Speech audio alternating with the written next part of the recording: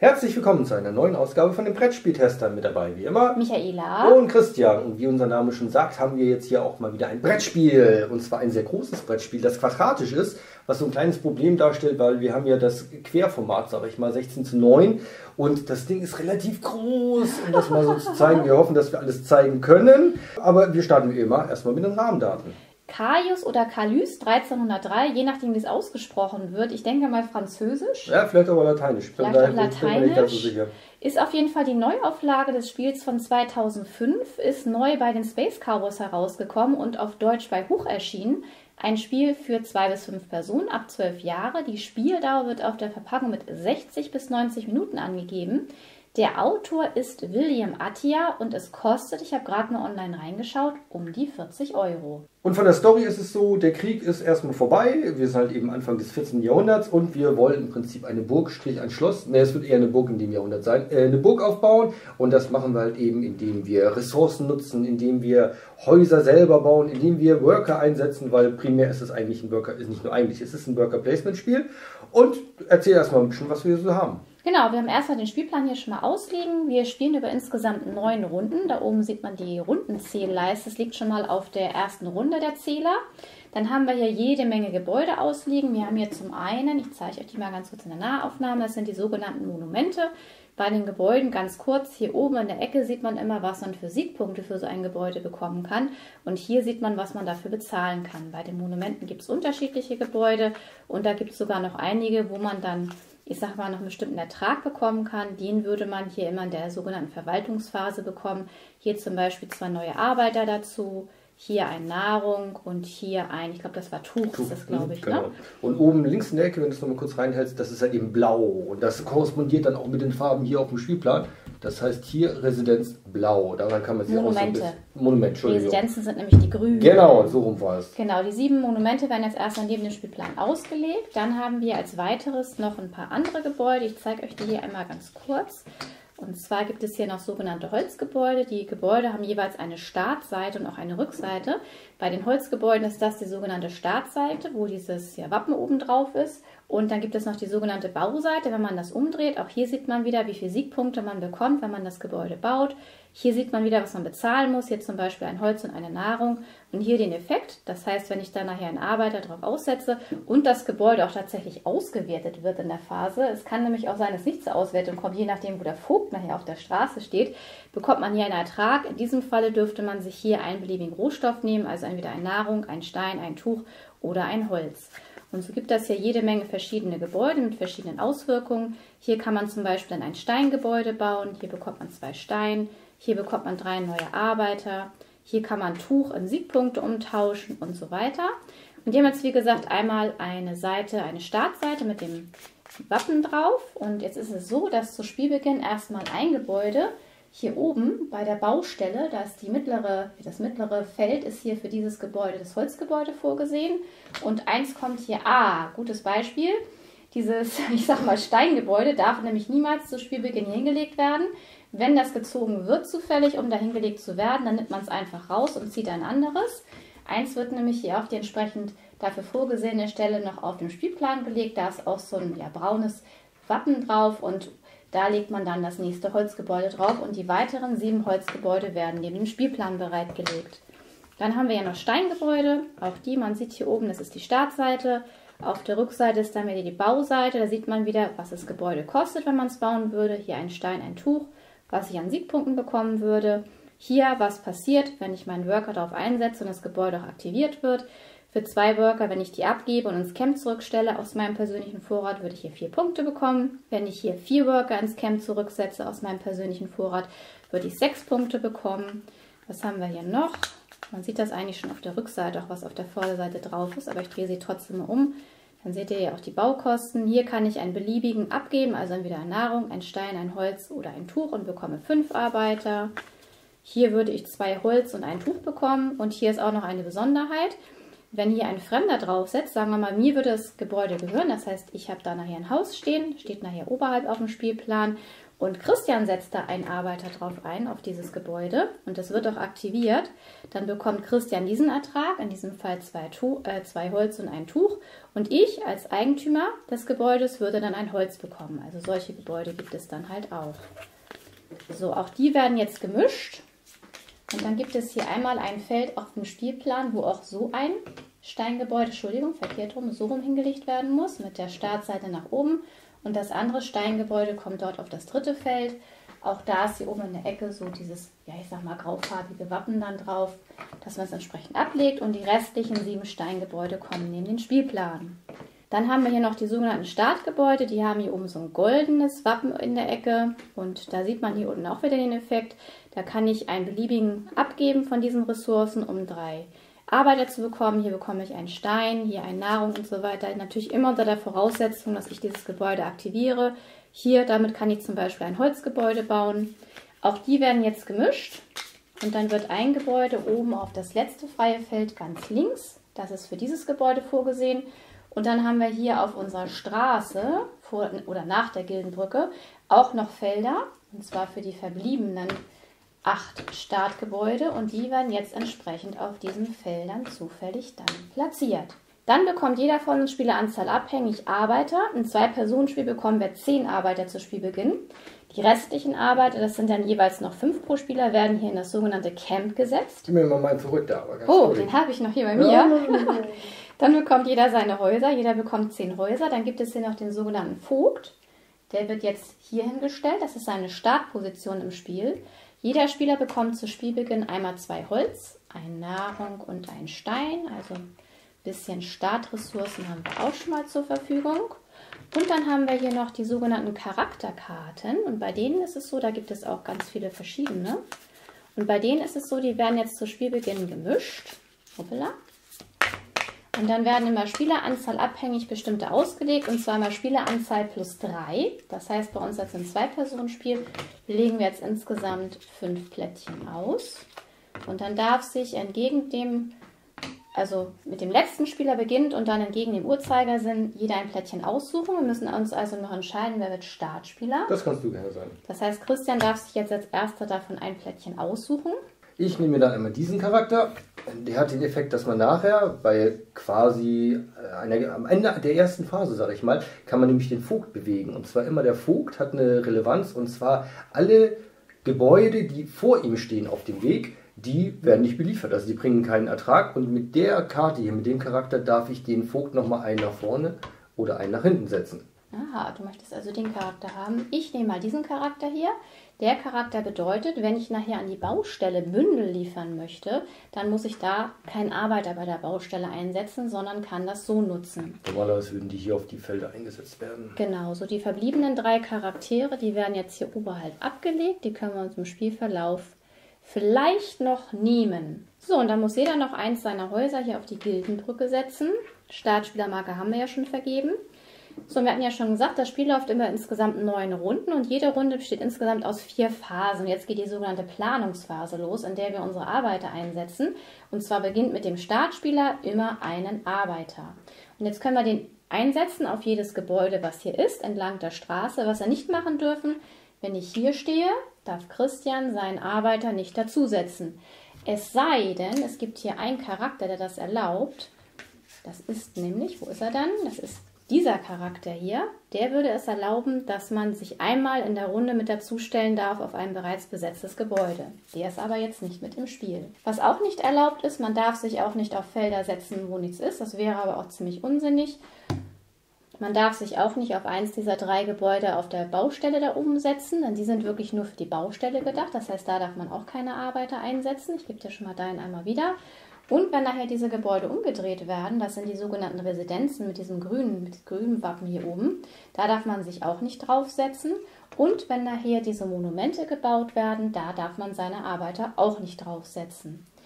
Okay, dann geht es beginnend mit mir los und ich würde jetzt einfach mal gucken, man muss hier echt so ein bisschen Ressourcenmanagement betreiben, weil man sieht schon diese ersten Felder, man muss gucken, weil die Arbeiter werden nachher abgewickelt und zwar es geht ja bei der Gildenbrücke los und dann wird geschaut, von da geht man die Straße hoch Das heißt, wenn ich hier einen Arbeiter einsetze und gar kein Holz habe, kann ich nachher den Effekt gar nicht auslösen. Genau. Und alle Arbeiter, die man eingesetzt hat, die kriegt man auch nicht auf die Hand zurück, sondern die kommen alle ins Camp. Das heißt, das muss man auch ziemlich gut im Auge behalten. Genau. Ich würde jetzt einfach mal hier hingehen. Ich setze mal meinen ersten Arbeiter Dart ein. Ja, was für eine Überraschung. So, ich gehe einmal da. Was drauf. für eine Überraschung. Ja, am Anfang Dann gehe ich mal, immer upsala, Entschuldigung, dahin. sehr ähnliche. Man muss auch nicht alle Strategien. Arbeiter einsetzen. Das heißt, wenn man sagt, man hat genug, dann passt man. Und ich werde jetzt als nächstes nochmal, ich gehe nochmal dahin und setze da einen Arbeiter ein. Dann gehe ich doch mal dahin. Dann gehe ich dahin. Dann gehe ich hier hin. Und ich passe jetzt. Das macht man in dem Sinne so, dass man hier das Haus, das man bei der Brücke hat, nach vorne schiebt. Und der Erste, der dann am gepasst hat, der kriegt auch den Startspieler für die nächste Runde. Und jetzt ist es auch noch so, für alle weiteren, die jetzt noch nicht passen wollen, sondern weiterspielen wollen, die müssen zusätzlich, das heißt, wenn ich jetzt noch den Arbeiter zum Beispiel hier einsetzen wollen würde, muss ich einen weiteren Arbeiter ins Camp schicken. Das heißt, für alle Spieler, die nach dem ersten Spieler, der gepasst hat, noch weitermachen wollen, für die wird das Einsetzen teurer. Das heißt, die müssen neben dem eingesetzten Arbeiter immer einen zusätzlichen noch ins Camp schicken. Und das möchte ich jetzt mal nicht so gerne, von daher würde ich jetzt auch mal passen und würde nichts weitermachen. So, dann kommen wir zur zweiten Phase, der sogenannten Aktivierungsphase. Beginnt beim Stadttor werden jetzt alle Gebäude, auf denen Arbeiter stehen, aktiviert, aber nur die Gebäude, die hinter dem Vogt sind, also bis zum Vogt hin werden sie aktiviert. Gebäude, die vor dem Vogt liegen, die werden nicht aktiviert.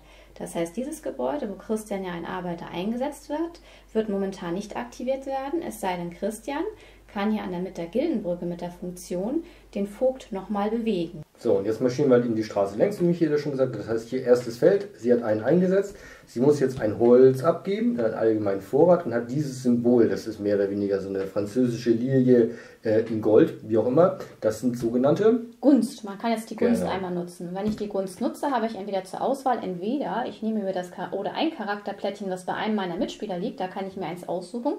Hier hätte ich jetzt ja nur das zur Auswahl. Oder ich nutze eins der Gebäude bei der Baustelle, wobei man da einschränken muss. Man muss schauen, wo der Rundenzähler steht. Das heißt, in den ersten drei Runden kann man nur das erste Gebäude nutzen. Ab der vierten Runde kann man sich eins von diesen beiden Gebäuden aussuchen, also von den ersten beiden. Und ab der siebten Runde kann man sich von allen drei Gebäuden eins aussuchen. Das heißt, momentan würde für mich nur dieses Gebäude zur Wahl stehen.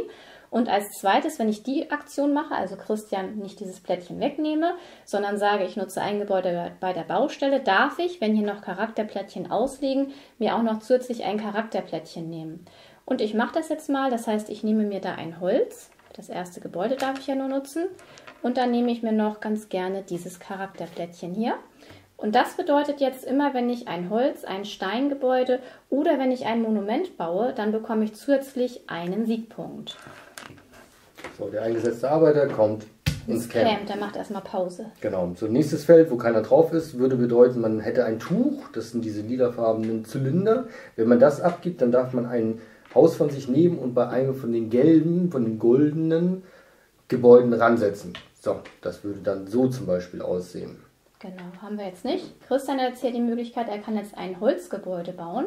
Das sind jetzt die sieben, die da ausliegen und muss dann die entsprechenden Baukosten natürlich abgeben. Genau, und das mache ich einfach mal. Das heißt also, ich gebe jetzt einmal ein Holz in einen beliebigen aus für dieses. Gebäude. Ich zeige euch das hier einmal ganz kurz in der Nahaufnahme.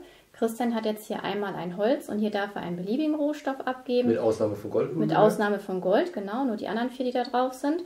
Und bekommt jetzt sofort einmal drei Siegpunkte dafür, weil die oben drauf sind. Die werden verdeckt gesammelt.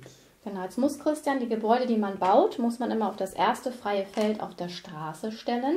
Genau, und Effekt wäre halt eben, wenn da jemand drauf geht, kriegt er drei Arbeiter aus dem Camp. Muss Christian dann noch sein Häuschen einsetzen. Genau, um zu zeigen, dass ich das bin. Weil in einer späteren Runde, wenn jetzt irgendeiner, wenn ich selber da reingehe, habe ich nachher diesen Effekt, so er aktiviert wird.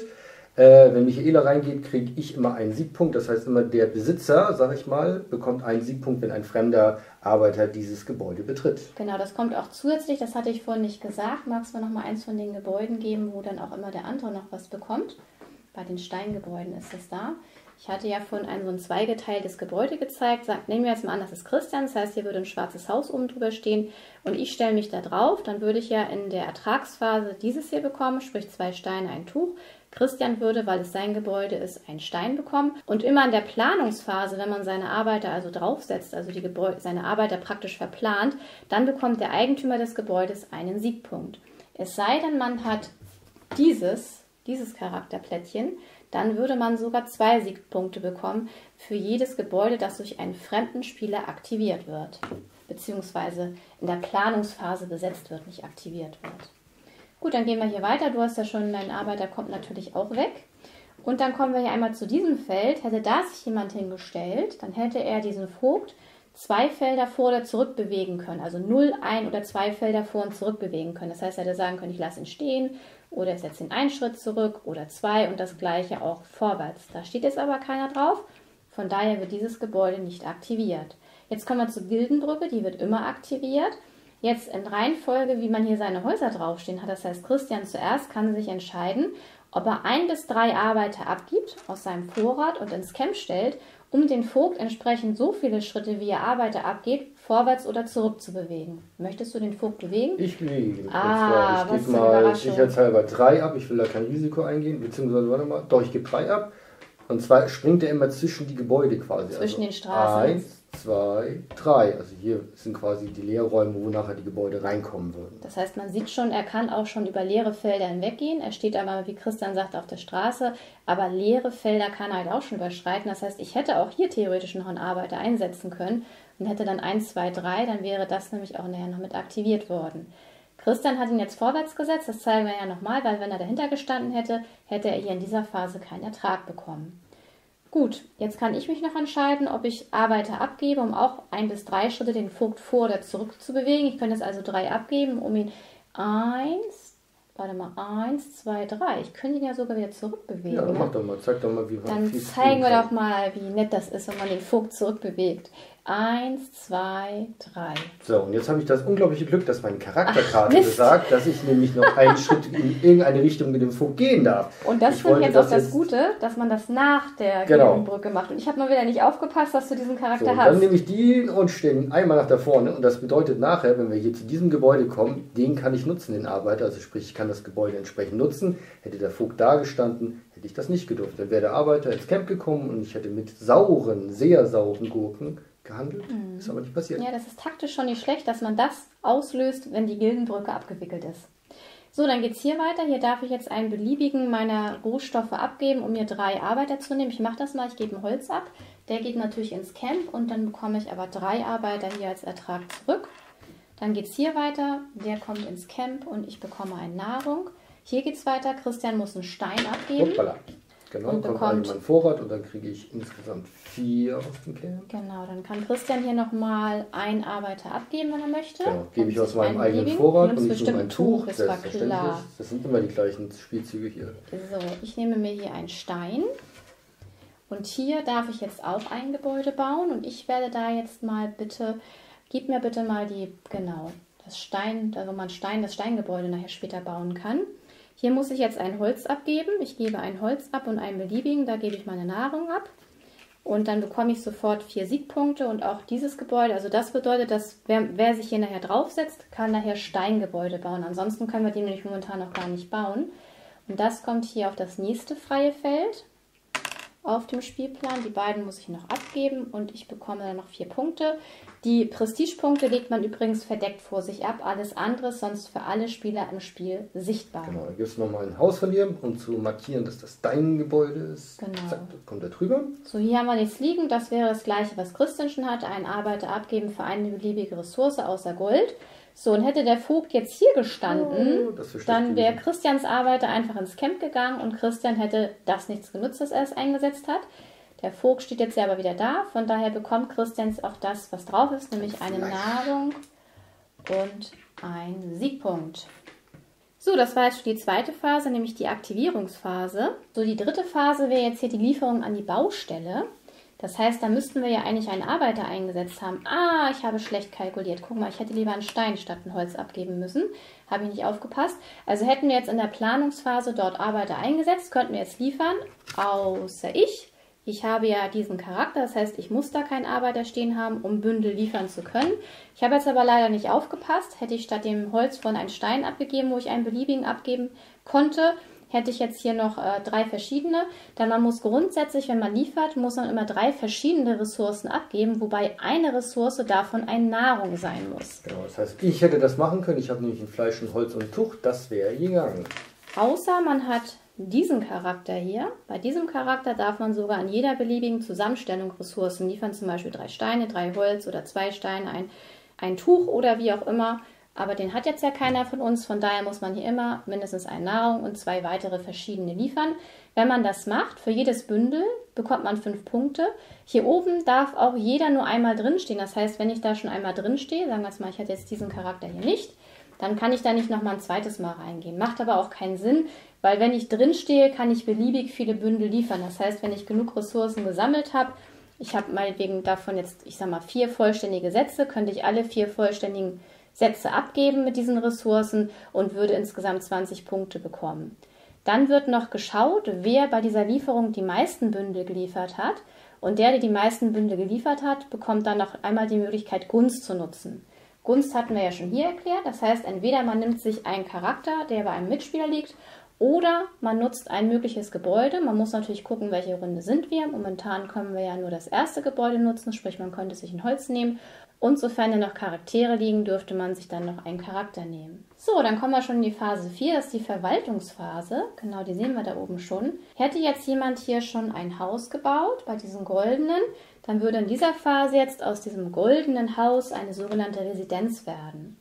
Und man sieht hier schon, immer wenn es eine Residenz wird, das haben meine ich alle Residenzen gleich, ja, ne, wenn man die umdreht, genau, immer wenn man sie umdreht, kommt hier unten dieses Symbol drauf. Und das bedeutet, dass wir jetzt nachher in der Verwaltungsphase, wir haben da sowieso ein Grundeinkommen von drei Arbeitern. Das heißt, wir bekommen in der Verwaltungsphase nachher gleich immer drei Arbeiter aus dem Camp zurück in unseren eigenen Vorrat. Hat man diese Residenz, bekommt man immer noch einen zusätzlichen Arbeiter in dieser Phase. Wenn das dann hier passiert ist, das heißt, ich hätte vielleicht dieses goldene Gebäude gebaut, das war ja hier möglich, hatte Christian ja gesagt. Das heißt, wenn ich jetzt hier in der Planungsphase einen Arbeiter draufgesetzt hätte, hätte ein Tuch abgegeben, dann hätte ich ja dieses goldene Gebäude quasi bauen können. Und jetzt in der Verwaltungsphase drehen wir das ja um, wird es zur Residenz.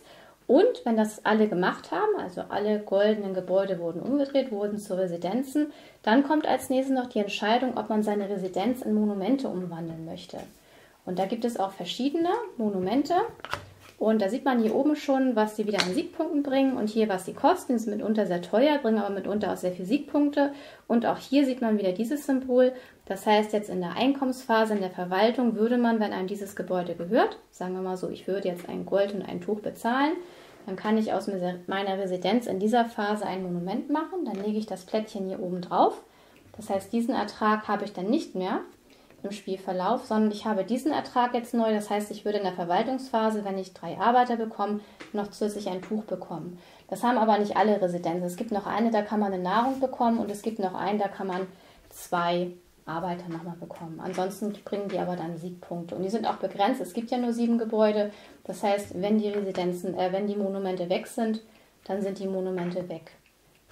So, dann gebe ich da auch nochmal wieder. Das hat jetzt ja aber keiner. Von daher können wir diese Phase quasi überspringen bei uns. Bei uns kann keiner was in eine Residenz umwandeln, auch keine Residenz in ein Monument. Spieleranzahl abhängig bekommen wir jetzt Arbeiter. Wir bekommen jetzt im 2- bis 4-Personen-Spiel jeder drei Arbeiter. Als Grundeinkommen im 5-Personen-Spiel würde man zwei Arbeiter bekommen. Plus, das sieht man jetzt hier auch, wenn man jetzt schon Häuser hätte mit irgendwelchem Einkommen, auch bei den Monumenten, würde man jetzt dieses Einkommen dann auch dazu bekommen. So, dann wird der Startspieler, äh, der Startspieler ich schon, der Rundenanzeiger ein weitergesetzt. Der Vogt wandert jetzt vor das letzte Gebäude auf der Straße. Wobei dazu zu sagen ist, es liegt hierher noch das Steingebäude, das haben wir ja von Spielanfang dahingelegt. Das lässt man dabei außer Acht. Das heißt, der Vogt springt nicht hierher. Der Vogt wird vor das letzte Gebäude auf der Straße gestellt. Das wird immer außer Acht gelassen, es sei denn, wir sind nachher schon so weit. Können wir da nochmal ganz kurz zwei Häuser einfach hinlegen. Das heißt, sagen wir jetzt mal am Runden, äh, Ende der nächsten Runde würde das so aussehen, der Vogt hätte hier gestanden, dann wird er dorthin gestellt, weil dann sind wir so weit, dass wir die Zwischenräume bebaut haben. Nur solange die nicht bebaut sind, wird das außer Acht gelassen und der Vogt wird vor das nächste freie Gebäude gestellt, aber nicht vor das Steingebäude, was von Spielbeginn dann dort schon ausliegt. Okay, dann muss ich den Arbeiter noch zurücknehmen. Den Deiner kommt dann noch noch weg. genau. genau. Jetzt bin ich der Startspieler und jetzt darf ich entscheiden, was passiert.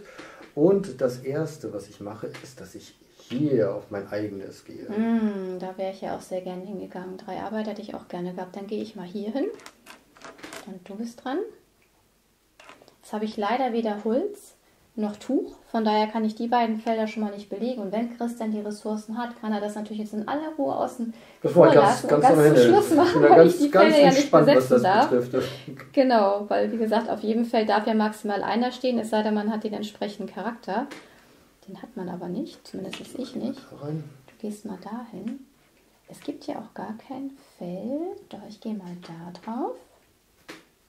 Bevor du es doch. Oh, und ich sehe gerade, ich habe hier was übersehen, was ich sehr gerne übersehe. Ich habe ja diesen Charakter hier, wo wenn ich ein Holzgebäude, einen Stein oder ein Monument baue, immer einen zusätzlichen Siegpunkt bekomme. Und ich habe ja dieses wunderschöne Steingebäude da gebaut, von daher bekomme ich nochmal einen Siegpunkt. Das, habe ich, das vergesse ich gerne, das übersehe ich gerne. Und ich bin dran, ne? Ja. Okay, dann gehe ich mal da drauf. Ich gehe da drauf. Dann gehe ich nochmal da drauf. Ich gehe dann einmal hier drauf. Ich möchte dann ganz gerne dahin gehen. Aha, Aha, da hast du irgendwas vor. vielleicht. Das könnte möglich sein. So, die werden jetzt eigentlich hier nach unten geschoben worden. Ich höre wieder zuerst auf. Das heißt, ich schiebe mein Häuschen dann nach vorne und Mhm. bleibe entsprechend der Startspielerin. So, und ich müsste jetzt ja mal einen Arbeiter mehr investieren. Das möchte ich nicht. Von daher schiebe ich mein Häuschen auch mal und passe auch. Und dann werten wir hier wieder von der, vom Stadttor aus an beginnt aus. Das heißt, Christian gibt es erstmal ein Holz ab. So sieht's aus, wobei das behalte ich gleich, weil ich nutze die Geschichte. Das heißt, ich nutze einmal hier dieses Gebäude, bringt mir ein Holz und ich nehme dann bitte einmal die Geschichte. Dankeschön. Also Der immer wenn jemand auf mein Gebäude, jemand, wenn Michaela dort einen einsetzt, kriege ich dann zwei Siegpunkte. Genau, und statt ein. Also wie gesagt, immer wenn ich jetzt, also wenn ich jetzt hier eingesetzt hätte in der Planungsphase, dann hätte Christian sofort einen Siegpunkt bekommen. Also immer wenn man in der Planungsphase einen Arbeiter auf ein fremdes Gebäude einsetzt, bekommt der Eigentümer sofort einen Siegpunkt. Genau, nächste Geschichte. Geht wieder ins Camp. Ich gebe ein Tuch ab und darf jetzt eins meiner Gebäude hier auf eins von diesen gelben, güldenen Stellen, Randstellen in Anführungszeichen. Das kann man auch machen bei Gebäuden, wo jetzt momentan ein Arbeiter drin ist. Das hat keine Relevanz und ich gehe einmal dort rein. Genau, weil die werden ja nachher erst in der Verwaltungsphase umgedreht. Dann bist du schon wieder dran. Genau, das heißt, ich gebe jetzt einmal ein Holz und ein Fleisch ab. Nahrung und hole mir dieses. Das bringt mir zwei Siegpunkte, die entsprechenden Rohstoffe habe ich bezahlt, kommt dann an die nächste freie Stelle und ich kriege bitte einmal zwei Prestigepunkte. Okay, dann Und Arbeiter kommen wieder weg. zurück und du bist dran. Jetzt kann ich den Vogt 0 bis 2 Felder vor und zurück bewegen. Ich möchte zwei Felder gerne vorwärts gehen. Und Christian darf sich jetzt entscheiden, weil wir wieder bei der Gildenbrücke sind, ob er den Vogt 0 bis 3 Schritte vorwärts oder rückwärts bewegt, muss aber dementsprechend auch dann Arbeiter abgeben. So, ich gebe mal. Nein, du bist nicht böse, Doch, oder? ich bin böse. Ich gebe mal zwei ab, wir geben mal zwei zurück. Wie fiese, dann gebe ich ganz gerne mal einen ab, weil das reicht mir schon und gehe einen Schritt. Nein, ich übersehe wieder Christian, ich gebe zwei, aber diesmal habe ich diesmal habe ich es mir gemerkt. Ich vergesse das so gerne, dass du noch den Ich hast. weiß gar nicht, was du willst. Ich nutze Ja. den hier trotzdem. Ich gehe einfach einen nach vorne. Hat keine Ah. Relevanz, aber sieht so aus, als ob ich Aber nicht ansonsten gewesen wäre. wärst du wahrscheinlich einen Schritt zurückgegangen, oder? Ja, ja, ist klar. Das haben wir ausgewählt, dann geht es hier weiter. Ich muss den ins Camp schicken und bekomme eine Nahrung. Ich darf hier einen Stein abgeben. Ach ja, hier ist der Vorrat, danke. Und bekomme immer noch mal drei dazu. Vier Arbeiter. Und Christian ist dran. So, ich gebe einen Arbeiter ab, also der, der steht sowieso, einen noch ins Camp und ich nehme mir wieder ein Tuch. Ach nee, Langweilig. der muss ins Camp und ich bekomme einen Stein dafür. Hier darf ich, muss ich den abgeben, plus einen Arbeiter und dafür nehme ich mir ein Holz. Hier kriege ich ein Fleisch und eine Nahrung. Äh, ein Siegpunkt, Entschuldigung. Ein Fleisch. Fleisch und Nahrung ist das gleiche. Da bekommst du nochmal drei Leute aus dem Camp und der geht ins Camp. Hier darf ich jetzt ein Steingebäude bauen. Jetzt muss ich mal ganz kurz eben gucken, welches ich wollte. Ich wollte eins. Gib mir bitte mal das oben in der Mitte. Das, was ein, das kostet mich jetzt ein Stein und eine Nahrung. Das gebe ich in den allgemeinen Vorrat ab. Ich bekomme drei Punkte plus meinen Charakter. Ich habe diesmal dran gedacht. Insgesamt vier Prestigepunkte. Und das muss ich jetzt auch nächste freie Feld legen. Und du hast da dein Häuschen nicht hingestellt, ne? Oh, Fauxpas. Aber sonst nehme ich das ein. Ja, ich ja, kann das ja, ist- vielleicht gibt es ja vielleicht eine Eroberungs. Müsste man Noch vielleicht auch noch in der nächsten. Erweiterung, glaube ich. So, da habe ich da gebaut. Das heißt, der kommt auch ins Camp. Und dann haben wir schon wieder, ich sag mal, alles ausgewertet. Wir haben alles aktiviert. Die Arbeiter wurden eingesetzt. Jetzt würde man nochmal schauen bei der Baustelle. Steht ja kein Arbeiter, aber ich habe ja mit meinem Charakter hier, kann ich das ja auch aktivieren, wenn ich da nicht stehe. Und das mache ich jetzt mal. Ich muss ja drei verschiedene Ressourcen abgeben und da muss immer eine Nahrung dabei sein. Es sei denn, man hat den entsprechenden Charakter, den ich euch schon gezeigt habe. Das gebe ich jetzt alles ab. Dann bekomme ich einmal fünf Siegpunkte. Hier bei diesem Charakter kann man vielleicht jetzt auch noch mal ganz kurz sagen, da ist es so, wenn ich ein Bündel liefere und da ist mindestens ein Gold dabei, bekomme ich fünf zusätzliche Siegpunkte in dieser Phase. Habe ich jetzt aber nicht und ich hätte auch kein Gold gehabt, von daher bekomme ich jetzt einmal fünf Siegpunkte. So, jetzt bin ich ja die Einzigste gewesen, die Bündel geliefert hat. Damit habe ich auch die meisten Bündel logischerweise geliefert. Jetzt darf ich mir wieder was aussuchen. Entweder ich nehme von einem Mitspieler ein ausliegendes Charakterplättchen oder ich nutze hier die Gebäude. Ich darf nach wie vor immer nur das erste Gebäude nutzen. Also ich nehme jetzt hier mein Holz und dann nehme ich mir noch diese Charaktertafel. So, und jetzt kommen wir schon in die Verwaltungsphase. Das heißt, es werden alle gelben Gebäude in Residenzen umgewandelt. Das ja. heißt, Christians gelbes Gebäude wird in eine Residenz umgewandelt. Mehr gibt es noch nicht, die umgewandelt werden können, weil die anderen noch nicht im Besitz von Christian oder von mir sind. Und jetzt kommen wir als nächstes in die Phase, wo man seine Residenz auch in ein Monument umwandeln kann. Und zwar geht das hier los und spielt also in Reihenfolge von der Gildenbrücke aus gesehen. Das heißt, man läuft hier los. Und wäre ich jetzt hier vor Christian mit diesem Gebäude, dürfte ich, also wenn ich jetzt hier stehen würde und das wäre auch gerade eben umgedreht worden in eine Residenz, dürfte ich mir als erstes aussuchen, welches Monument ich denn bauen wollen würde. Also das geht dann wiederum, dieses Umwandeln von Residenz in Monument, hier von der Gildenbrücke in Reihenfolge der Straße entlang. Ich habe das aber nicht, von daher darf Christian sich jetzt irgendeins aussuchen, ohne dass ihm da einer ins Handwerk fuscht. Genau, ich kann es natürlich bezahlen. Okay, das Gold hatte ich nicht, aber. Das Gold hast du dir jetzt genommen. Ja, um das vorzuführen, wie das eben Okay, wäre. also wir tun jetzt mal so, als wenn Christian diese Ressourcen gehabt hätte. Dann würde er jetzt das Gold und das Tuch, was er sich gerade eben aus der Kasse genommen hat, aber es hat er natürlich sonst im Spielverlauf, tun wir es mal so, hätte er es bekommen. Das heißt, er bekommt jetzt hier einmal fünf Punkte und dann legt er dieses Monument hier drauf. Dann kommen wir zum nächsten Schritt. Das heißt, man bekommt jetzt wieder Grundeinkommen drei Arbeiter. Hätte Christian dieses Monument nicht gebaut, hätte er vier Arbeiter bekommen, denn pro Residenz, die man hat, bekommt man in dieser Phase einen Arbeiter mehr. Das heißt, jeder von uns bekommt jetzt wieder drei Arbeiter Grund. Es gibt ja nachher auch noch einen Charakter, den kann ich euch auch noch mal ganz kurz zeigen. Wenn man den hat, bekommt man in der Phase auch grundsätzlich immer einen Arbeiter dazu. Also jetzt im 2- bis 4-Personen-Spiel immer drei Arbeiter. Dann, wie gesagt, die Erträge von den Monumenten. Das heißt, Christian bekommt hier nochmal ein Tuch dazu. Dann kommt der Rundenzähler wieder ein weiter und der Vogt würde jetzt, er steht schon vor dem letzten Plättchen auf der Straße. In dem Fall ist es jetzt das zu Spielbeginn platzierte Steinhaus wo er jetzt ja stehen darf, weil die Plättchen dazwischen oder die leeren Plätze dazwischen schon befüllt worden sind. Ja, und so spielt man jetzt neun Spielrunden und am Ende der neunten Runde würde man noch pro Gold, das man in seinem Besitz hat, dann nochmal zwei Siegpunkte oder zwei Prestigepunkte bekommen und der Spieler mit den meisten Siegpunkten gewinnt das Spiel und bei Gleichstand teilt man sich den Sieg. Und ich würde sagen, heute darfst du mal anfangen mit dem Fazit. Jo, gerne. Also, ich sag mal, von den Regeln her war es ziemlich schnell zu erlernen, mhm. sag ich mal. Das Schöne ist auch wirklich, man folgt im Prinzip jedes Mal der Straße. Also man, wenn man die einzelnen Gebäude aktiviert oder guckt, ob sie aktiviert werden, läuft man in die Straße längs, dann landet man hier bei der Baustelle, da wird entweder eine Aktion ausgeführt oder nicht. Dann werden die entsprechenden Aktionen hier durchgeführt, dann ist das Rundenende, wo man seine zusätzlichen Arbeiter bekommt. Dann sieht man ja auch die Figur von dem Vogt, wird in die entsprechende Stelle gepackt und nächste Runde weiter. Also ich finde das optisch total gut gelöst, auch so, was was bedeutet, sobald man eben weiß, okay, das und das sind die Ressourcen, das und das sind die Symbole zum Beispiel für Bauen, Holzgebäude bauen oder halt eben hier ein Steingebäude bauen. Wie funktioniert das mit dem Umdrehen? Ich kriege hier einen Ertrag, das passiert mehr oder weniger automatisch. Oder ich hole mir halt eben hier, wenn ich die entsprechenden Ressourcen abgeben kann, das Teil und pack's oben drauf. Das hat man gefühlt nach einem Spiel, hat man das echt drauf, sag ich mal mehr oder weniger. Was ein bisschen blöde war, war von der Farbgebung her. Also wir sitzen ja immer, ähm, also ich sehe immer alles auf dem Kopf. Das ist das, das, Handicap, das ich bei jedem Spiel quasi habe.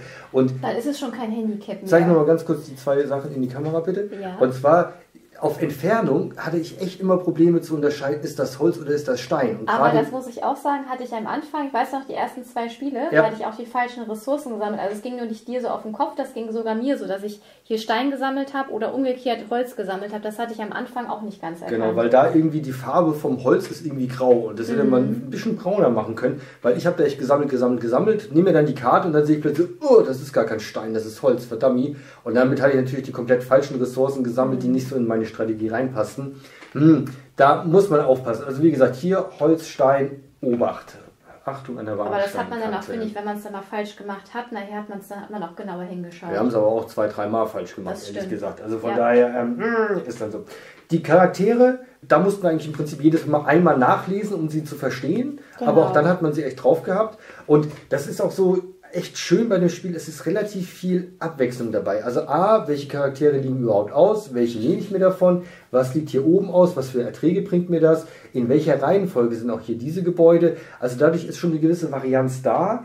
Wobei ich sagen muss, wir haben es jetzt mehrmals gespielt, es reduziert sich doch immer auf relativ ähnliche Spielzüge, die es man macht. Es ist schon sehr repetitiv, ne? Ja, mhm. definitiv. Und gerade wenn man halt eben eine Strategie gefunden hat, die einem gefühlt liegt, wo eben auch so die Sachen zusammenkommen. Also das letzte Spiel, das wir gemacht haben, da habe ich mal was ganz Neues probiert, bin damit relativ auf die Nase gefallen, dass das gar nicht so funktioniert. Und Michaela ist da echt, ich glaube, du bist hier oben ziemlich stark gewesen. Irgendwie ein Effekt plus nochmal ihren Charakter und hier und da. Und da hatte sie irgendwie nachher über 100 Punkte und ich krauchte da so mit 80 rum.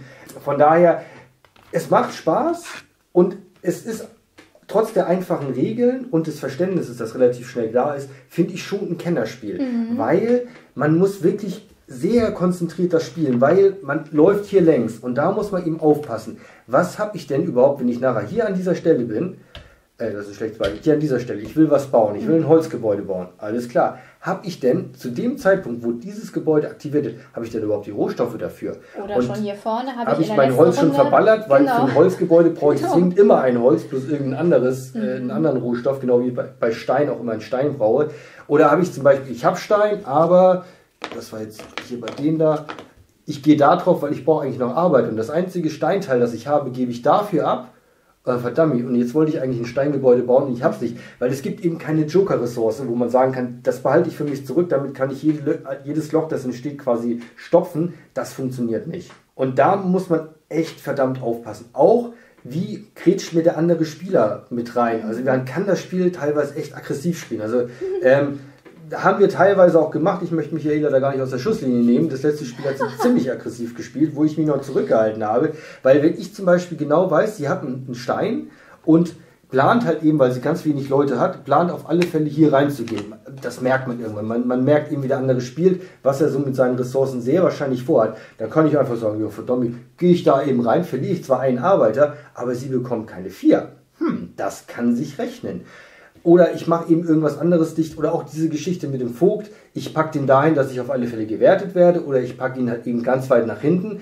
Wir hatten auch teilweise Geschichten gehabt, da hatte Michaela echt so die letzten drei gehabt. Und ich bin einmal hier da rein, konnte zwei zurückgehen, hatte dann vielleicht noch den Charakter, konnte drei zurückgehen. Dann hätte sie zwar hier nochmal drei einsetzen können, aber ich konnte dann mit drei Arbeitern von mir nochmal gegensteuern. Und da hat man echt teilweise Arbeiter eingesetzt, die einem überhaupt nichts gebracht haben. Und, das es ist, echt alles. Gefährlich. Ich finde, das habe ich echt total häufig vergessen. Diesen letzten Schritt, der ist auch ganz schön gefährlich jedes Mal. Aber jetzt ja, gerade eben auch wieder kann gesehen. eben noch einen echt wichtigen mhm, Zug bringen oder genau. nicht oder einen Effekt, mhm. einen Ertrag nochmal bringen an mhm. der Stelle. Und Arbeiter wie auch Ressourcen, wie auch Häuser ist echt Mangelware. Also da muss man auch aufpassen. Also ich hatte ein Spiel, da bin ich extrem so auf Häuserbau gegangen, weil ich mir dachte, hier versuchst du darüber die Siegpunkte zu kriegen. Und irgendwie gefühlt in der fünften oder sechsten Runde hatte ich plötzlich keine Häuser mehr. Und dann sitzt man da und kann echt nicht mehr viel machen irgendwie gefühlt. Und das war nicht so bei den letzten zwei Spielen, in Anführungszeichen, so die letzten drei, die letzten zwei Runden, wo ich mir dachte, ja, ich kann jetzt sowieso nicht mehr in der Strategie, die ich vorhatte, agieren und ich kriege auch nicht die Ressourcen, die ich brauche, um noch irgendwas anderes zu machen, weil ich zum Beispiel hier schon alles umgedreht hatte oder weil hier alles weg war oder das eben sich nicht großartig für mich gerechnet hat. Und das ist auch so eine Geschichte, das hat mir bei dem Spiel nicht gefallen. Also A, Downtime teilweise echt lang, ist natürlich immer abhängig von der Spielerkonstellation, denkt man viel nach, weil man eben schon seine zehn Schritte vordenken muss. Das ist irgendwo zwingend bei dem Spiel. Und wir haben es zu zweit gespielt, genau. muss man dazu sagen, ne? Also wenn es eben so parallel läuft, ist Downtime ja nicht schlimm. Aber wir haben eben so teilweise so, zack, ich setze ein, du setzt ein, ich setze ein, zack, zack, zack. Aber dann an irgendeiner Stelle, verdammt, jetzt hat der mir genau das Feld weggenommen, was ich brauchte. Okay, Strategiewechsel. Ich muss nochmal meine letzten fünf Arbeiter komplett neu organisieren, einteilen, überlegen, während der andere halt eben ja in seiner eigenen Strategie ist und da kommt eben Downtime, ist auf alle Fälle da. Es ist ein Strategiespiel, es ist ein Kennerspiel aus meiner Warte, von daher ist Downtime nicht so schlimm, aber teilweise ist es wirklich so, äh, weil, weil in der Downtime des anderen Spielers kann ich selber nichts machen, weil ich weiß ja, da und da will ich einsetzen, Punkt, da passiert nichts, also da muss man es einfach aussetzen und ich finde auch neun Runden bei dem Spiel gefühlt echt zu lang. Also ich finde, sieben Runden hätten gereicht, vielleicht acht. Also ich hatte es echt ganz häufig, die letzte Runde oder die vorletzte Runde brachte mir an Spielspaß nicht mehr so viel, auch keinen Mehrwert, was großartig Siegpunkte betraf. Von daher, ich hätte es mir hätten sieben Runden bei dem Spiel auf alle Fälle gereicht. Lange Rede, kurzer Sinn, was ich auch sagen muss, Preis-Leistung, 40 Euro hast du gesagt. Mhm finde ich total genial. Also wir haben einen riesigen Spielplan, wir haben jede Menge Material für bis zu fünf Holz, Leute. Ne? Mhm. Fünf, vier Leute, fünf Leute sind es. Fünf ne? Leute, ja. Dicke Kartonage, schöne Illustration, finde ich total in Ordnung. Also 40 Euro für so ein Spiel mit dem ganzen Zeug, was dabei ist, ist echt gut. Da gibt es Spiele, die sind 50% teurer und haben weniger dabei. Von daher richtig schön gemacht. Auch so diese Optik, es ist genug Platz da, es ist überall richtig der Platz. Also ich kann hier mein Haus hinstellen, das passt. Ich kann hier meine ganzen Leute einsetzen, das passt. Ich kann mit dem Vogt genau dazwischen gehen. Also es ist nicht alles irgendwie gedrungen oder so. Man hat hier echt Platz und das ist auch sehr, sehr angenehm. Das wenn da mal was verrutscht, weiß man noch, ja klar, das Haus stand da. Es ist nicht irgendwie nach links oder nach rechts gerutscht, weil da genügend Platz links und rechts daneben ist. Lange Rede, relativ kurzer Sinn. Mir hat das Spiel Spaß gemacht. Ich habe es jetzt oft genug gespielt, muss ich sagen. Wie gesagt, von der Zeit, sieben Runden hätten mir gereicht, aber es ist okay und ich gebe dem einfach mal ein Gut. Sieben, Sieben Punkte. Punkte. Ja. Okay, dann mache ich mal weiter von der Spielzeit vielleicht mal ganz kurz. Wir haben trotzdem mal, ich sag mal in Anführungsstrichen nur um die 60 Minuten gespielt. Finde ich jetzt für dieses Spiel für mich persönlich nicht zu lang. Ich sagte ja gerade eben schon, ich habe es ja kurz eingeworfen bei Christian, wir haben es bisher nur zu zweit gespielt, von daher können wir das Zwei-Personen-Gefühl nur weitergeben. Ich kann mir vorstellen, zu dritt, zu viert und zu fünf, je nachdem mit mehr man spielt, also es sind dann ja auch unterschiedlich, ich glaube zu dritt und zu ich weiß gar nicht, auf jeden Fall hat man unterschiedliche ja, Arbeiter zu Spielbeginn. Zu zweit hat man ja zehn. Ich glaube, bei den anderen Spielen nachher in bestimmter Konstellation nur sechs zu Spielbeginn. Aber es wird natürlich hier vorne auch voller. Ne? Man hat natürlich zu zweit noch so ein bisschen mehr, okay, nehme ich erstmal das Gebäude wenn ich jetzt sage, ich brauche unbedingt die drei Gebäude, welches nehme ich jetzt zuerst? Mhm. Welches ist mir am wichtigsten? Welches setze ich erstmal ein? Das andere kann es der andere in dem Moment dann ja noch besetzen. Das kann ich nicht bekommen. Also da muss man immer hin und her überlegen. Während wenn man mit drei, vier, fünf Spielern spielt, wird es ja noch enger hier. Ja. Weil man hat ja nicht mehr Gebäude auf der Straße, sondern die sind dann ja noch schneller weg. Das heißt, da muss ich jetzt überlegen, ich bin dran, dann kommen vier Leute nach mir und wenn ich dann, dann können schon vier Gebäude weg sein, die ich interessant gefunden habe. Zu zweit ist es ja nur ein Gebäude, ja. das dann wieder es weg kommen ist. Ja nicht, es kommen zwar mehr Gebäude rein, weil natürlich mehr Kauf, Leute bauen, bauen, können, ja, ja, aber eben sukzessive, weil genau. es gibt ja nur eins, zwei, drei Felder, wo gebaut werden kann. Das wenn heißt, das dann schon gebaut wurde. Wenn das schon gebaut wurde. Genau. Das heißt, an neun kommen eben pro Runde maximal dann noch drei nach. Genau, und das hier kann ja vielleicht auch relativ schnell umgedreht werden. Wenn man mich hier mit einem Tuch ja. das als erstes nimmt, dann wird das in der Verwaltungsphase sogar schon umgedreht. Genau. Also von daher wird das da, denke ich mal, vom, ja, was setze ich zuerst ein? Also mein Timing, welchen Arbeiter setze ich auf welches Gebäude, spielt da, glaube ich, noch, noch eine größere Relevanz dann weil natürlich die Gebäude dann, bis ich wieder dran bin, schon wieder weg sein können vom Besetzen her. Und dann spielen natürlich bestimmte Charaktere, wie zum Beispiel dieser Charakter, wo ich hier zum Beispiel das eine, ich glaube, das war der hier, wo du einmal mit dazustellen kannst. Oder es gibt ja auch noch einen Charakter, wo ich halt vor dem Startspieler, bevor der dran ist, auch einen einsetzen darf. Dann muss ich zwar zusätzlich noch einen Arbeiter ins Camp schicken, aber da kommen natürlich solche Charaktere, so sie dann im Spiel sind, dann mhm. letztendlich dann natürlich noch wichtiger, ja, kommen dann noch wichtiger mit dazu. Also von daher denke ich mir, da wird es dann noch wichtiger und da wird es natürlich auch noch mehr Schlägereien in Anführungsstrichen geben um die Gebäude. Letztendlich auch mit dem Vogt dann im Zwei-Personen-Spiel kann ich es natürlich auch viel besser kalkulieren, wie viel bewegt sich der Vogt. Weil wenn ich jetzt hier einsetze, weiß ich, ich setze ihn vielleicht, weil ich möchte ihn auf jeden Fall zwei Felder vorsetzen. Dann weiß ich, Christian, okay, da kann man ja auch beobachten, wie viel Arbeiter hat er nachher noch, wenn er gepasst hat. Um so viele Felder kann er den Vogt ja maximal vor und zurück bewegen. Klar, wenn dieser Charakter noch im Spiel hat, den muss man natürlich auch immer noch im Blick behalten, weil der natürlich nach der Gildenbrücke kommt und dann kann der natürlich noch das Zünger an der Waage sein, wenn ich dann so, ich sag mal, wie gerade eben das übersehen habe und nur einen abgebe, aber vielleicht noch zwei hätte und lieber dahin hätte gehen können und Christian setzt dann dadurch zurück und ich kriege dann dadurch den Ertrag des Gebäudes. Das ist natürlich ärgerlich. Und das natürlich, je mehr, je mehr Leuten man spielt, wird das natürlich auch noch unübersichtlicher. Wo wird der Vogt nachher letztendlich stehen? Ja, und ganz kurz, wenn ich da noch einhaken darf, ähm, auch diese Geschichte, so man ist dann auch irgendwie auf diese Situation, ich muss jetzt den Vogt bewegen, total fixiert. Dann sagt man, hey, okay, ich habe noch drei Arbeiter, habe ich noch, ich baller die alle rein, um dem anderen halt eben Ein etwas nicht reinzuwirken als reinzuwirken. Ja. Und schwupps, ach verdammt, ich hätte ja da einen gebraucht, um an irgendeinen Rohstoff zu kommen, den ich brauchte, um irgendwas Mhm. zu bauen zum Beispiel. Und da muss man echt schon höllisch aufpassen, dass man dann wirklich konzentriert das durchspielt, in Anführungszeichen. Mhm. Wobei man muss natürlich auch gucken, ich habe auch bei Christian, wenn Christian zum Beispiel in einer Runde auf dieses Gebäude gesetzt hat, dann habe ich schon gar nicht mehr so geguckt, dann habe ich das Feld auch gar nicht mehr belegt, weil ich mir gedacht, er wird ja da nicht hinsetzen, um den Arbeiter zu verschwenden, weil dann wird er den Vogt auch noch ein Feld weiter vorbewegen wollen. Also das kann man Ja. natürlich auch gucken. Ne? Aber das ist natürlich mit mehr Spielern, ich habe gehört, es soll mit mehr Spielern besser sein, kann ich nicht beurteilen. Wir geben jetzt hier nur die, ich sag mal, Bewertung oder wie uns das Spielgefühl für zwei Personen Spiel gefallen hat. Das können wir jetzt hier nur abgeben. Ich muss für mich aber auch sagen, ich muss es jetzt gar nicht unbedingt mit mehr Personen Ja, spielen. Weil wie gesagt, ich denke mal so, die, es funktioniert zu zweit. Ich habe ja gerade schon gesagt, wo ich die Veränderungen sehe, die, wenn man es mit mehr Personen spielt. Von daher weiß ich nicht, ob es dadurch besser wird. Schreibt gerne mal in die Kommentare, wenn ihr das Spiel schon mit mehr als zwei Personen gespielt habt. Wenn ihr sagt, doch, dadurch wird es wirklich deutlich besser, probiert das lieber nochmal mit mehr Personen aus. Dann schauen wir es vielleicht auch nochmal an.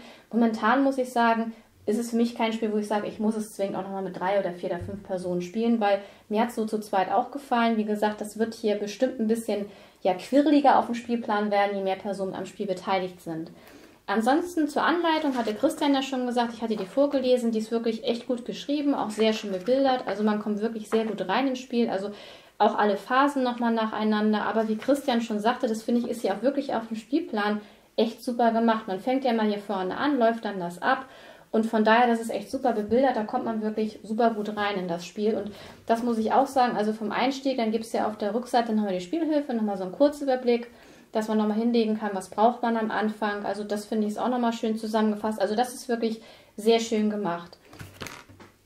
In dem einen Spiel, wo Christian meinte, das fand ich auch ganz interessant. Ich hatte, am Anfang bin ich auch viel auf die Gebäude gegangen und dann hatte ich mal diese beiden Charakterkarten, die hat Christian mir auch im gesamten Spielverlauf nicht strittig gemacht. Das heißt, er hat mir über die Gunst keine davon geklaut oder dann vielleicht in der nächsten Runde auch die zweite nicht. Das ist zum Beispiel hier, was ich gerade eben schon hatte, dass ich da oben bei der Baustelle, ohne einen Arbeiter einzusetzen, das nutzen kann und hier für jedes Bündel dann nochmal ein mehr bekomme. Und da habe ich einfach mal getestet. Ich habe einfach mal Rohstoffe gesammelt. Christian ist hier munter auf die ganzen goldenen Gebäude, hatte immer sein Tuch, das habe ich auch ganz häufig vergessen, dass man dann ja, wenn man es dann, weil ich kann das ja nur am Rundenanfang gebrauchen, also muss ich zum Ende der letzten Runde auf jeden Fall ein Tuch oder am Ende der jeweiligen Runde ein Tuch haben, damit ich es dann hier auch einsetzen kann. Und das habe ich auch ganz häufig vergessen, mir dann sowas zu. Und habe ich gedacht, lass ihn mal machen. Und ich habe dann das gemacht und das finde ich auch ganz schön. Also man kann seine Strategie wirklich auch ganz schön nach den Charakteren, die man dann ausliegen hat, sofern sie natürlich passen, dann auch dann ausrichten. Das fand ich echt gut. Also das war echt das Spiel, wo ich auch haushoch gewonnen Mhm, habe. Das hat echt richtig gut geklappt. Aber da hättest du mir die Charaktere ja auch streiten Ja, ich weiß, aber ich dachte, lass dich mal laufen. Ich hatte eben eine andere Idee. Okay. Ansonsten muss ich auch sagen, was Christian sagte, man muss hier wirklich, also es ist echt schon Gehirnschmalz. Ich habe ganz häufig gehabt, oh, jetzt habe ich wieder kein Holz. Das habe ich gerade eben ausgegeben am Ende der letzten Runde. Das heißt, zu Beginn der nächsten Runde, ich brauche da gar keinen, aber ich kann das ja gar nicht machen. Genau das hier, ich habe schon wieder kein Tuch, ich kann das schon wieder nicht machen. Und dann hier mit dem Sammeln ist das auch so, was ich gerade eben schon sagte. Was brauche ich, aber wo setzt Christian als nächstes ein? Das heißt, welches Gebäude brauche ich vielleicht am ehesten? Wo gehe ich als erstes drauf? Dann die eigenen Gebäude, habe ich am Anfang gedacht, ähm, so diesen Siegpunkt, weil wenn man ein fremdes Gebäude nutzt, schustert man dem anderen ja einen Siegpunkt zu. Das ist aber nicht so stark. Also wir haben nachher viel die anderen Gebäude Ja. mitgenutzt, du ja auch viel. Habe ich mich schon immer drüber geärgert. Ich habe diese schönen Gebäude gebaut mit den schönen Erträgen. Und Christa geht rein und kriegt die Erträge. Ah, ärgerlich. Aber das ist echt so eine Sache, da muss man echt überlegen. Und da habe ich selbst im zweiten und dritten Spiel immer noch mal den Fehler gemacht, wie Christian sagte. Auch, dass ich hier irgendwo war, was ausgegeben habe und mir mit einmal hier hinten die Ressource dann doch fehlte, wo ich dachte, wo habe ich denn das jetzt wieder auf dem Weg verloren? Habe ich das irgendwo vergessen am Anfang einzusammeln? Ich habe es doch genau vorgeplant.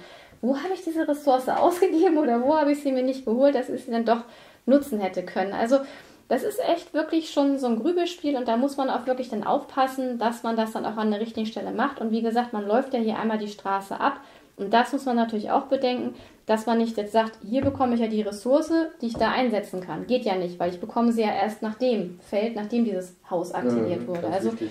Und dann natürlich das mit dem Vogt, das hat natürlich auch noch so einen kleinen Ärger und so einen kleinen Interaktionsfaktor, weil damit kann man dem anderen manchmal ganz schön die Stippe fahren. Also ich habe dann immer geguckt, wenn ich, hier war jetzt keiner, man muss dann wirklich darauf achten, dass man noch Männchen zurückbehält, Arbeiter, um hier gegebenenfalls erforderliche Arbeiter abgeben zu können, um den dann vorwärts zu setzen. Wenn der andere jetzt hier vorne schon steht, dann haben wir relativ in Sicherheit gewogen. Aber ansonsten muss man da natürlich auch gucken. Und was ich sagte hier, das, das habe ich manchmal auch vergessen, dass ich dann gesehen habe, okay, ja, muss ich jetzt noch einen oder ich habe dann einen zu viel abgegeben und ich hätte es gar nicht müssen, weil Christian vielleicht auch noch einen Schritt hätte machen können, wie auch immer. Also von daher, das ist echt schon ein bisschen hirnverzwirbelig, sage ich jetzt mal. Also es ist nicht so ein Spiel, was ich jetzt sage, wenn ich jetzt müde wäre abends, wenn ich dann spielen nein. würde, sondern da muss man schon vom Kopf her schon so ein bisschen mit dabei sein. Und natürlich auch mit den Arbeitern. Man gibt ja jedes Mal die Arbeiter, die man hier abgibt, da muss man auch berücksichtigen, wie komme ich an Arbeiter, weil wenn ich dann pro Runde immer nur drei bekomme und ich habe mir hier keine besorgt, dann kann das mit der nächsten Runde auch ziemlich schnell für mich zu Ende sein, das Einsetzen und der andere freut sich. Also von daher, ich muss auch sagen, es hat mir Spaß gemacht, aber wie Christian schon sagte oder wie ich vorhin schon sagte, es fühlt sich doch sehr repetitiv an. Also es lief bei uns teilweise wirklich in eigenen Spielen so zack, zack, zack, zack, zack. Manchmal auch, wie Christian sagte, kam auch mal Downtime auf. Das war jetzt für mich gefühlt aber nicht so doll. Aber es war wirklich so, wie Christian auch schon sagte, so gegen Ende, diese neun Runden die fand ich auch ein bisschen viel. Also von daher, da hätte man auch vielleicht ein bisschen früher, da hätte man das hier oben vielleicht ein bisschen anders aufteilen müssen. Vielleicht tatsächlich, dass man sagt, man macht 2, 2, 2 obwohl dann sind es nur sechs Runden, obwohl ja, hätte 2, 2, 3 das ja auch mal. Oder 2, 2, 3, wie auch immer. Ja, also von daher war man die Baustelle. Es ist ja rundenabhängig, welche Gebäude aktiviert werden. Aber ich finde auch, also vom Gefühl her war es nachher wirklich auch so, dass es dann so nachher so 6, 7, so da hätte es auch dann Schluss sein können mhm. vom Spieler. Also da hat Christian schon recht. Ich finde auch, dass wir hinten raus wurde es dann zu lang. Wie gesagt, immer nur das Spielgefühl zu zweit, zu dritt und zu viert und zu fünf weiß ich nicht, wie das Spielgefühl ist. Aber ansonsten muss ich auch sagen, es ist ein schönes Worker-Placement-Spiel, funktioniert auch zu zweit, hat mir auch zu zweit Spaß gemacht. Wie gesagt, ich habe gehört, es soll zu dritt und zu viert, und, also mit mehr man spielt, ich glaube zu viert soll es Bestbesetzung sein, kann ich nicht beurteilen. Aber so kann ich für mich auch nur sagen, hat es mir zu zweit Spaß gemacht, ist für mich ein gutes Spiel und bekommt von mir auch sieben Punkte. Ja, das haben wir ja wieder mal eine Meinung. Sehr schön. Genau. Okay, das war dann unser Review zu dem Spiel Kalius oder Kalys, je nachdem wie man es ausspricht. 1303, also die Neuauflage des 2005er erschienenen Spiels. Wir würden uns natürlich sehr freuen, wenn euch das gefällt, was wir hier machen, wenn ihr uns unterstützt, indem ihr unseren Kanal abonniert. Gebt auch gerne dem Video einen Daumen hoch, wenn es euch gefallen hat.